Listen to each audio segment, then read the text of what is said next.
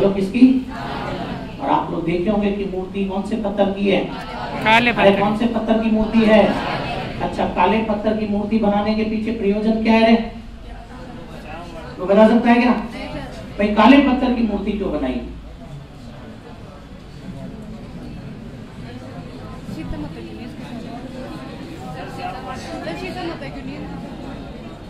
प्रयोजन क्या है? क्योंकि वाल्मीकि रामायण के अंदर भगवान को आपके किस रूप में दिखाया गया है? श्याम वर्ण में। बोलो, किस रूप में दिखाया गया है? तो वाल्मीकि रामायण के अंदर आपको जो दिखाया गया है, वो आपके श्याम वर्ण के अंदर दिखाया गया है।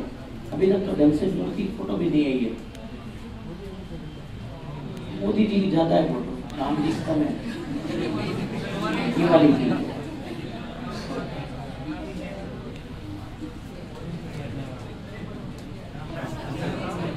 याद रखना वर्तमान के अंदर जो रामलला की जो मूर्ति स्थापित की गई है ना वो मूर्ति आपकी ये वाली स्थापित की गई है। क्या हो गया? तो ही है तो लेना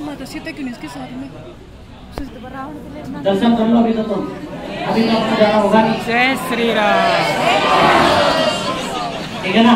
अभी तो अपन जा पाएँगे नहीं। और अभी तो जाना भी क्योंकि मंदिर बहुत भव्य बनेगा अभी तो। ठीक है ना? दर्शन तो चालू हुए अब। लेकिन अब मंदिर अभी तो क्या? बहुत कम बनाए हैं। अभी तो केवल अपने राम भगवान का मंदिर बना अभी सीता, रसोई, हनुमान जी का, लक्ष्मण जी का, सबके वहाँ पर और वो मंदिर बनेंगे। तब जा करके पूरा भव्य रूप से आपके तैयार होगा। तो ये ध्यान रख लेना। कल जो आपने बना, जो मूर्ति स्थापना की गई है, वो आपकी ये वाली मूर्ति स्थापित की गई है। समझ में आ गई बात यहाँ पर? चलिए साहब तो ये ध्यान रख लेना।